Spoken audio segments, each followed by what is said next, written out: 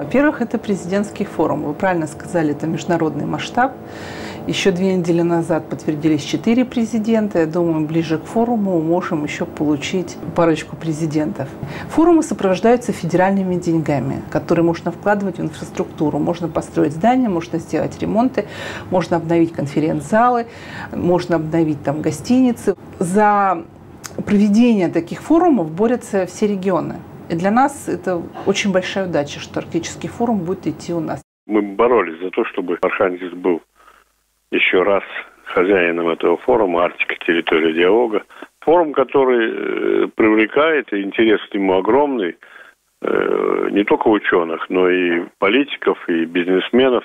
И, естественно, э, Архангельск должен показать, на что он способен. Область и инвестиции – это очень самое главное – которые придут для разработки структуры, отсюда рабочие места, отсюда, значит, э, бюджет области. Два дня, которые будет проходить, большая тематика, э, много э, вопросов поднимается, участвуют ведущие специалисты и политики, в том числе планируется участие президента Финляндии, с которого Архангельска с этой страной есть свои отношения – президент Исландии. Ну, в общем, большой политический форум, который привлекает внимание. В любом случае, э, возможность собрать на площадке региональной большое количество руководителей федерального уровня, да еще и во главе с президентом Российской Федерации, это само по себе дает э, дополнительный стимул к развитию региона. То есть э, те люди, те руководители, которые прибудут к нам в регион, они будут иметь возможность пообщаться с нашими э, региональными министрами, они смогут вникнуть более глубоко в те проблемы, которые стоят перед регионом, они могут э, выдвинуть какие-то предложения, потому чтобы разрешить те э, проблемные узлы, которые у нас есть.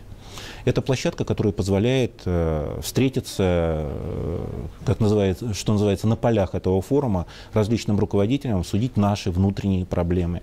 И не только проблемы Арктики в целом, но и региональные проблемы. Э, кроме всего прочего, э, если говорить конкретно о Белкоморье и глубоководном порту, безусловно, проект и один и другой двигался бы и без форума. Но в данном случае мы имеем вполне конкретную точку дедлайна, к которой мы должны подготовиться. Естественно, это нас подстегивает. Естественно, мы движемся более быстро, понимая, что на площадках форума это будет наиболее удач, удачная площадка, где будут практически все заинтересованные лица в этом проекте, от которых зависит в конечном счете принятие решения. И естественно, что мы не можем не использовать эту площадку для того, чтобы не выйти на нее с теми э, материалами, которые мы готовим, и быть максимально убедительными в общении с нашими контрагентами такой проект – это глобальный проект, который останется ну, действительно на века.